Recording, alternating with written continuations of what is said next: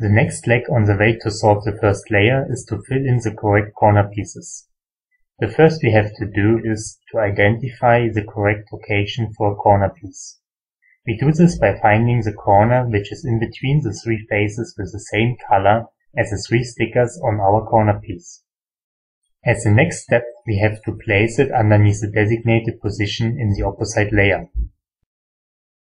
If the desired corner piece is in the top layer but in the wrong position or with the wrong flip, we have to bring it to the bottom layer first. This is simply done by a 90 degree rotation of one of the side layers to bring the piece into a safe plane. Then we rotate the bottom layer to take the edge piece out and rotate the side back into its original position. After placing the piece underneath the final position, we analyze the situation by locating the white sticker of the corner piece. There are three possible states. First, the white sticker is on the front face. In this case, we have to rotate the front layer by 90 degrees clockwise. This way we bring the desired position into the same plane of our corner piece, and at the same time change the flip of our corner piece relative to the desired position.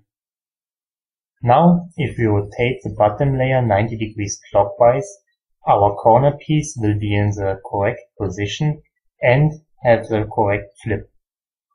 All we have to do is to rotate the front layer 90 degrees counterclockwise and we are done. The second state is just mirrored to the first one.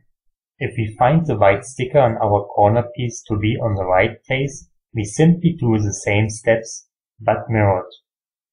First we rotate the right layer 90 degrees counterclockwise.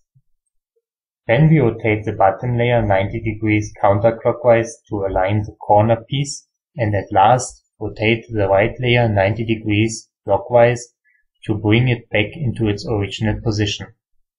Remember, white sticker on the front means rotate the front layer.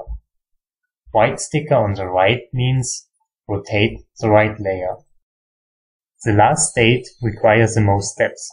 If we initially find the white sticker on the bottom layer, we have to flip the piece first to bring it to one of the side layers and solve it with one of the first two methods. First rotate one of the side layers. I will use the right layer. Now again, you change the flip of the corner piece relative to its final position.